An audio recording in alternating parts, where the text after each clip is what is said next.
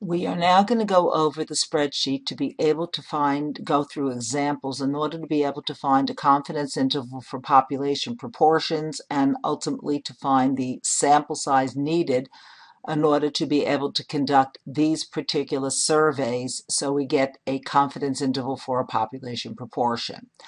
For the first study, we want to be able to have a PEPCID study where we have 74 patients with ulcers were prescribed 40 milligrams of Pepcid. After eight weeks, 58 reported ulcer hearing, healing. So the first thing we want to do is obtain a point estimate for the proportion of patients with ulcers receiving Pepcid who will report ulcer healing, which means that we want to calculate the p hat. So remember, p hat is x divided by n. So in order to create the formula, we go equals, we take our x, we divide it by our n, which is 74. So the population proportion is approximately 784 thousandths. Now, in order to create a confidence interval, we have two things we have to do. First, we have to verify that the population is approximately normal, and then we calculate the standard deviation for all groups of size 74 for the population proportion. So in order to be able to determine if the distribution is approximately normal, we use the formula of n times p hat times 1 minus p hat has to be greater than or equal to 10. So we're now going to calculate this particular situation. So we take our 74 times the p hat, which we just calculated, which is 784 thousandths, times, open parenthesis, 1 minus the 784 thousandths. Once we have that, we press equals. That gives us 12 and 54 hundredths. And since 12 and 54 hundredths is greater, let's tap that correctly, greater than 10, we can say the distribution is approximately normal, and now we can continue. Next thing we need in order to be able to calculate the margin of error or the error of estimate, which is E, we have to be able to find the standard deviation of all groups of 74 patients, given the point estimate is 784,000. So we press equals and we want the square root, so you can press SQR. And you notice over here you have SQRT returns the square root of a number. And using the formula, we take RP hat, times 1 minus r p hat. Divide that by the sample size n.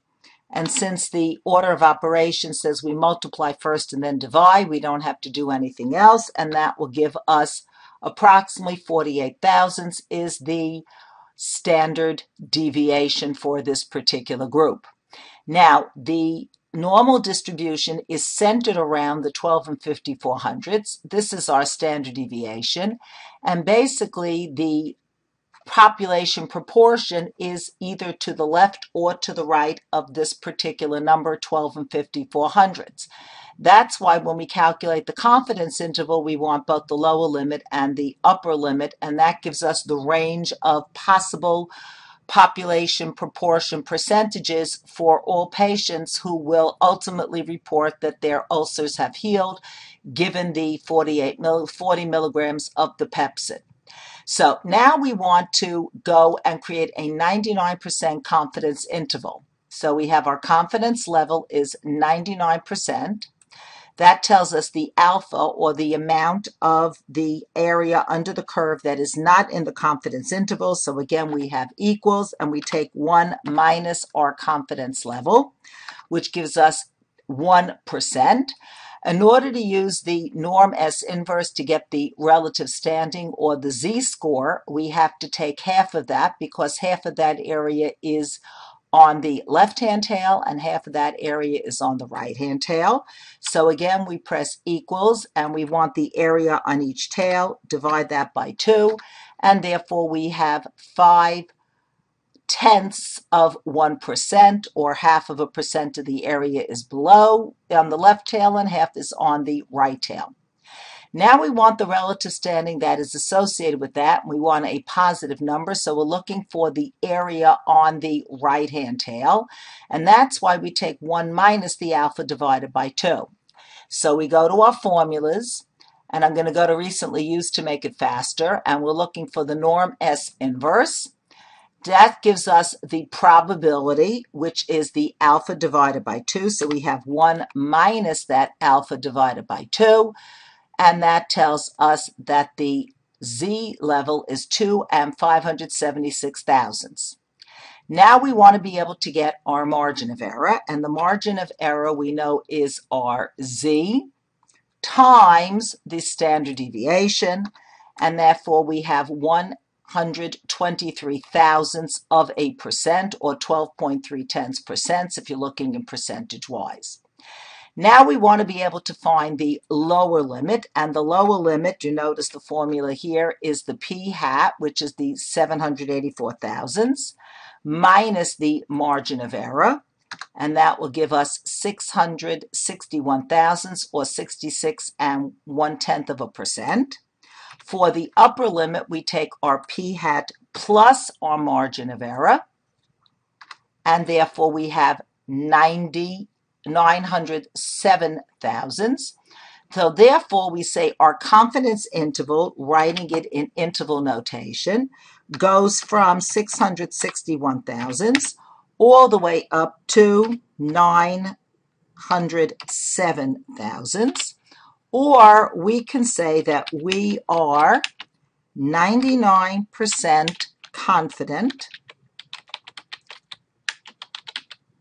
that the, whoops, my spelling is terrible, that the population proportion is between 66 and one tenth percent and 90 and seven tenths percent. Next problem, we're going to do another problem. We want to be able to determine the family values. The U.S. Today Gallup poll conducted in November 2007 says 768 of 1,024 randomly selected adult Americans aged 18 or older stated that a candidate's position on the issue of family values are extremely or very important in determining their votes for president. Again, the very first thing we want to be able to compute is the point estimate, which is our p hat. So again, we have equals to create our formula, and we have the 768 who said that characteristic was important, divided by the sample size, which is 1,024, and that gives us about 75% of the population said that was true. Now, again, in order to create a confidence interval, we have to have a distribution that is approximately normal. So again, we're going to calculate the n times the p hat times 1 minus p hat. If that number is greater than 10, we can continue. So let's go through the calculation. So we take our 1,024 times our 75 hundredths times 1 minus the 75 hundredths and that gives us 768. And again, since 768 is greater than 10, the distribution is approximately normal.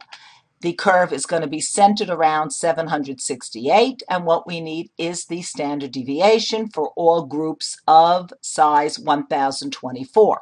So again, we're going to calculate the standard deviation. Again, we're taking the square root. You press SQRT, and therefore that is going to be our p hat times, again, 1 minus the p hat divided by the sample size. We take the square root of that particular number.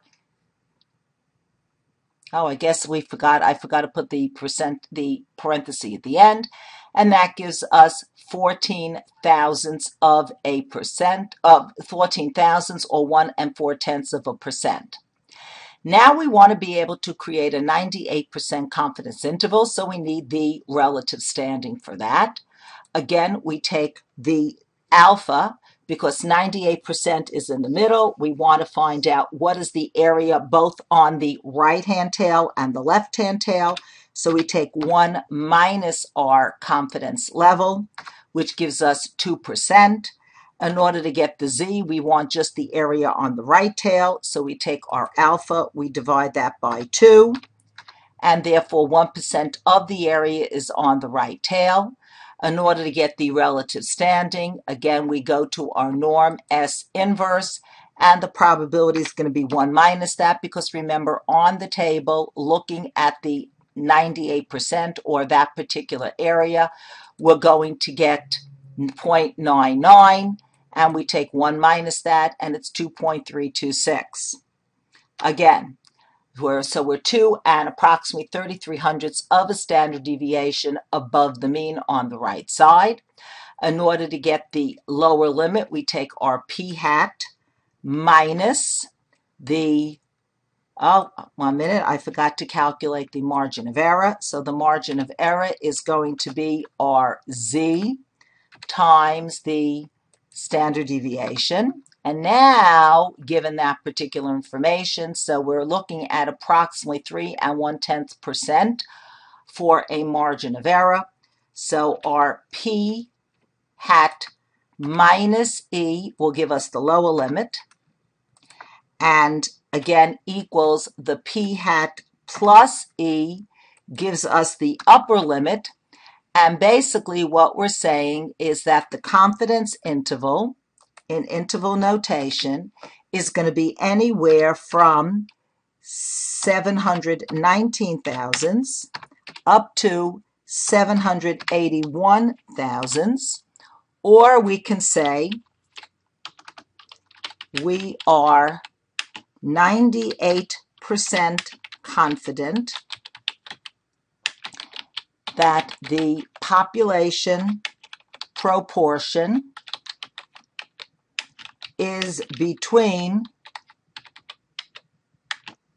71 and 9 tenths percent and 78 and 1 tenth percent who think family values are important or extremely important in order to be able to cast their vote for president.